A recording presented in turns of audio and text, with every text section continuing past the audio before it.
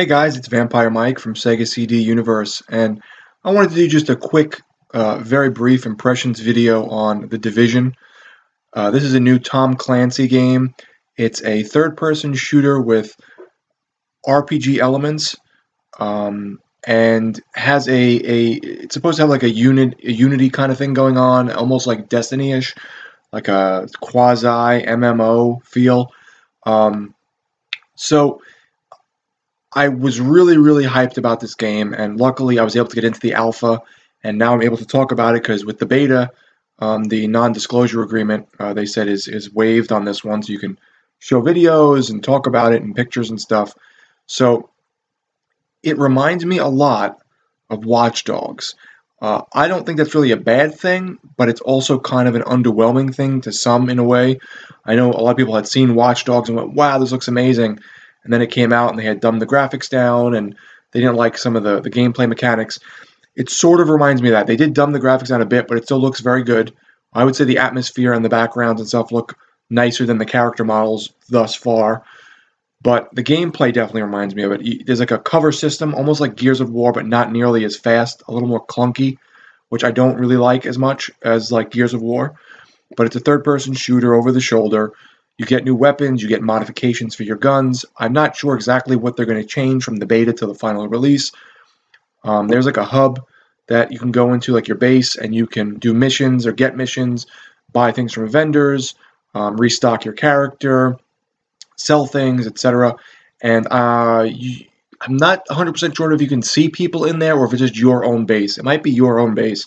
But then once you get outside, um, it's pretty much you versus the computer opponents finding missions and things like that. And then you can group up with friends and do either you know PVE missions or go into a place called the Dark Zone, which is PvP, if you want it to be.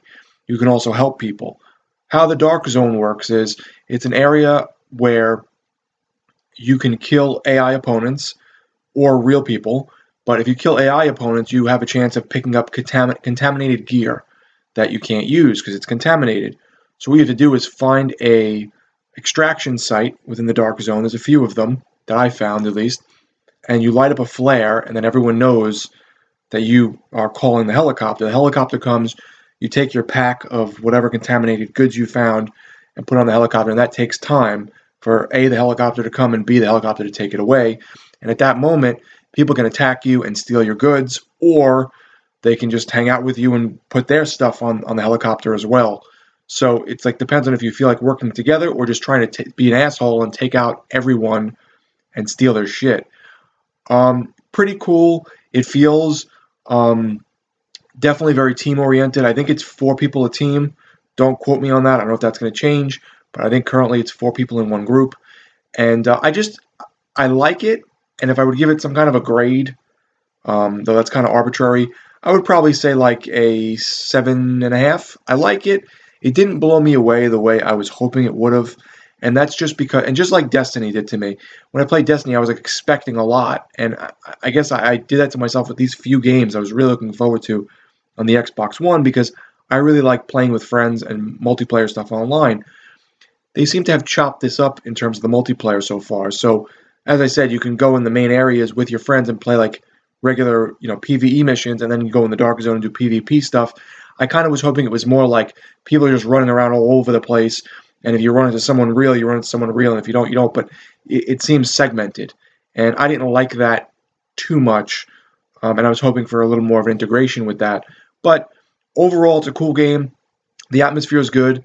Um, they definitely have to add. I mean, it's a beta, obviously, so they definitely have to add more stuff. The bad guys you kill all sort of look similar so far. Um, some of them have like flamethrowers and stuff, so they can look a little different.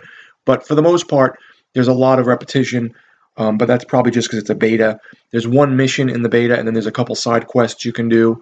Um, you can only go up to level 8. And then there's Dark Zone where you PvP. There's Dark Zone levels that you gain from killing rogue people or from killing other AI that is, you know, wants to kill you. Um, and then you lose levels if you go rogue and you kill people and steal their stuff, which Brian did um, on my team just to be a jerk. And he was like, "Oh, I'm so sorry," because then we both got killed, and my level goes down in the dark zone. So not like your main character level, but your Dark Zone level, which changes, and then you can buy things from a different vendor depending on your Dark Zone level, if you can use it, and then how much money and Dark Zone points you have or whatever. So it almost has like a, um, a segregation feeling to it in regards to what you can do and spend on the outside of the Dark Zone, and then what you can do on the inside. I don't know how much that's going to change or how much that's going to meld together, but overall, it's a pretty cool game, and I did have some fun moments. I didn't capture a ton of footage, though most of the stuff I captured is is sort of what you're going to see anyway. I captured like two minutes of it, so I'm going to put that at the end of the video if you wanted to stay tuned and see that. But um, so far, I have I have the game pre-ordered with a bunch of stuff I had returned a while back to the to the store, and uh, I had the special gold edition because it comes with the, the game, which is normally sixty dollars. Excuse me, but it also comes with the expansion pass, which is usually like another 40 or 50, and that's going to include like all the, you know, season pass expansion crap. And I think it came with some extra like um, like outfits or guns or something. And and that that pass costs 100. And then I think for like you know with the the main game, then I think for like 120 or 40, you get like a stupid, I don't know, wristwatch or some crap from the game. And it's like this is dumb. But um, it definitely has a, a kind of interesting, cool sci-fi feeling. I did wish that they went darker with it. It seems like they went kind of lighthearted for a game based on the apocalypse and you know the contamination breaking out and killing people and you know post-apocalyptic. It, it's definitely lighthearted in a way, and I, I kind of don't like that. I really wanted them to go a little more um, darker and scarier in a sense, but I do like that feeling with friends where you feel like you have to watch each other's back, kind of like Army of Two ish, and you know escape and hide and stuff. So that's pretty cool. But I would say check it out. Um, I'm glad I got to play the beta. I'm on the fence in terms of purchasing it, but I'm going to see what my friends do and uh, how some of the reviews play out. But overall, that's my impressions of the division. Uh, as I said, I played on Xbox One. Uh, played a few hours today and a couple hours the other night uh, with Timmy and then with Brian today.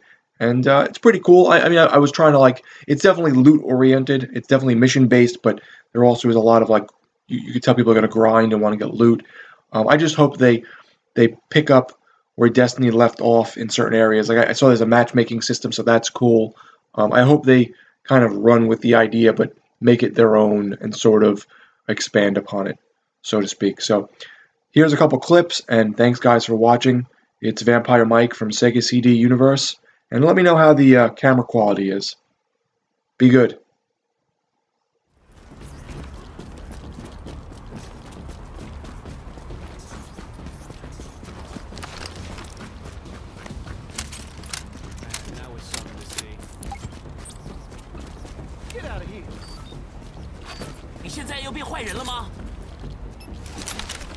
Tracking